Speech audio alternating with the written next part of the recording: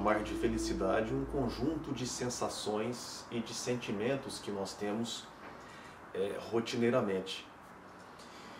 A verdade é que quando nós pedimos alguém que defina a felicidade, em geral as pessoas encontram alguma dificuldade sobre isso. É, se nós formos ver, é interessante nós darmos uma, uma olhada em como que os antigos povos, através da sua língua falada, do seu próprio idioma, é, entendiam felicidade. Se nós formos ver etimologicamente, dentro das línguas latinas, felicidade vem de feliquitas, quando chegamos a Félix, é, que significa aquilo que dá frutos, aquilo que está abençoado, aquilo que tem um, um senso de continuidade, é onde nós vamos esbarrar no conceito de sucesso Sucesso no seu sentido de aquilo que dá sucessão, aquilo que continua, aquilo que tem uma continuidade. Se nós formos ver já pelas línguas eh, anglo-saxônicas, pelo inglês, nós temos a palavra happiness para inglês, é, que chega em hap, aonde é, é, no inglês médio hap já está associado à sorte, seja ela boa ou ruim mas ligada a um evento de acaso, a uma eventualidade, e não a algo contínuo.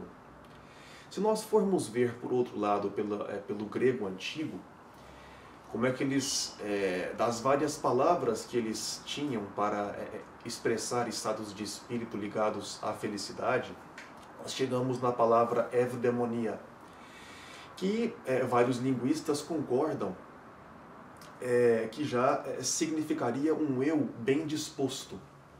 Ou seja, é, refere-se também a um dom divino.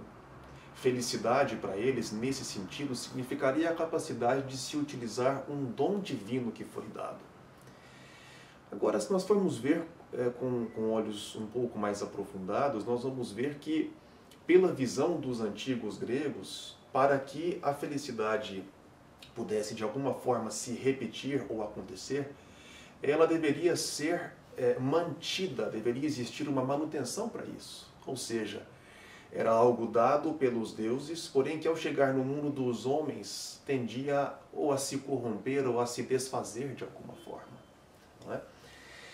É, nós não podemos confundir felicidade com alegria, com prazer, são coisas muito distintas. Afinal, o que é felicidade? Felicidade é um estado de espírito, uma vibração que surge de nós, é, expansiva, que nos faz sentir plenos, atendidos e realizados.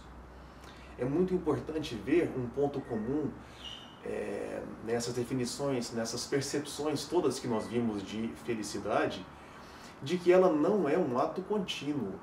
Né? Isto é possivelmente já um, uma idiosincrasia que, especialmente no, no Ocidente é muito presente a ideia de se achar que felicidade deve existir de uma forma duradoura ou perene. E em verdade, isso mesmo não pode acontecer, porque nós, se nós já formos ver através de uma teoria é, é, é, é baseada em polaridades de mesmas energias ou abordagens que o oriental possui há muito tempo, nós só conseguimos perceber ou estar em um estado de felicidade através dos instantes na qual ela é ausente.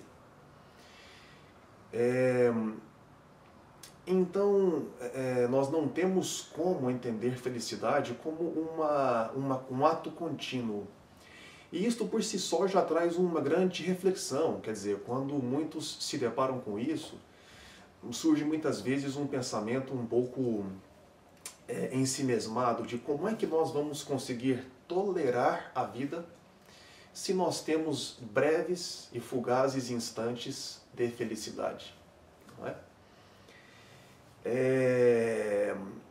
Bom, então se nós temos felicidade por esse lado, como é que nós podemos compreender alegria? Alegria é sinônimo de júbilo, é sinônimo de regozijo, que está associado a um instante, que está associado à percepção é, é, do desenrolar de alguma situação. É, ela possui sempre um objeto relacionado a isso, ou seja, existe um sujeito que se sente em regozijo, que se sente excitado é, de alguma forma em função de algum acontecimento externo. E nós temos prazer. Prazer já é, é, é, é uma recompensa neurofisiológica que há muitos séculos, podemos dizer, mesmo há milênios, vem moldando toda uma, é, uma busca e uma, um norte comportamental. Então, nós chegamos em um ponto muito curioso que toca tudo isso, que tocam esses três, essas três condições é, é mentais e para muitos espirituais que toca a todo ser humano, que é a expectativa.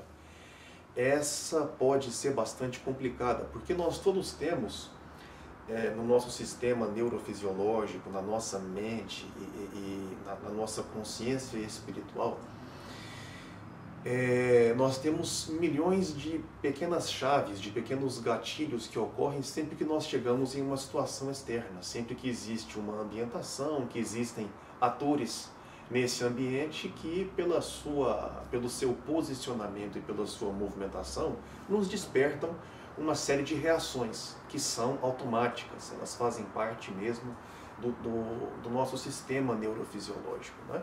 E nisso surgem as expectativas que é aquilo que eu gostaria que ocorra ou aquilo que eu espero que ocorra. O nosso cérebro funciona muito através de é, relações e pesos. Então, dentro disso, dentro desse fator de expectativa, existem é, é, é distintas medidas e distintas proporções.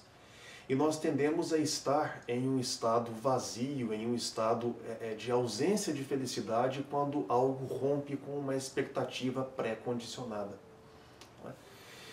É, a gestão de expectativas é uma coisa muito curiosa e possivelmente uma ferramenta muito útil. É, é, não necessariamente que leve à felicidade, mas que nos previna de armarmos as nossas próprias armadilhas. É, possivelmente o grande fator divisor disso tudo, na minha forma particular de compreender, é, ainda muito além da questão das expectativas, seja o fator consciência. A consciência, a, a, a origem evolutiva da consciência talvez seja hoje é uma das perguntas no âmbito da biologia, especialmente a biologia evolutiva, das mais difíceis de se abordar ou de termos um, um, um rastro interessante de respostas. É? O porquê, o para quê, o de onde vem, o para onde vai. Mas é uma linguagem de fatos que ela permite é, que nós, através é, é, é de uma de uma constante expansão consciencial e da, e da, da nossa vontade, quando bem aplicada, ela permite que nós transformemos uma série de conteúdos internos que nós temos e dos nossos hábitos de resposta. É, se nós formos ver, é, Aristóteles dizia muito sobre isso. Ele dizia que nós somos o que nós repetimos e que dessa forma a excelência não é um estado é, não, não seria uma qualidade de alguma coisa, mas somente o quanto nós já repetimos alguma coisa.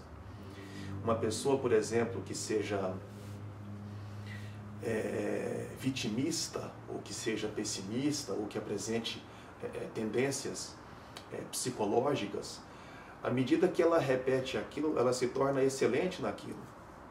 Se nós formos fazer um paralelo com qualquer atividade, com qualquer é, é, trabalho coordenativo, nós temos que ter muito cuidado com essa reflexão, porque se nós praticarmos um erro insistentemente por vários anos, nós vamos então fazer o erro muito bem. Então a consciência é um grande fator de reprocessamento e remodelagem dos nossos dados internos, das nossas verdades internas, da, da percepção um. que nós então, temos. Então, para nós conseguirmos trabalhar esse aspecto consciencial, o mais interessante, é, como via, possivelmente seja a lucidez, ou seja, buscar através de é, é, é percepções lúcidas, tocar expansões conscienciais que nos permitam evoluir e progredir, que são coisas distintas. É, por fim, nós podemos citar, por exemplo, o grande Humberto Eco, que foi, que é um grande, um grande filósofo, um grande escritor, é, quando ele traz o nome da rosa, ele diz que nem todas as verdades são para todos os ouvidos. O que quer dizer que justamente através do prisma consciencial, das dimensões consciais, que, que cada um atua e percebe, nós vamos ter distintas colocações diante das perguntas que a vida faz.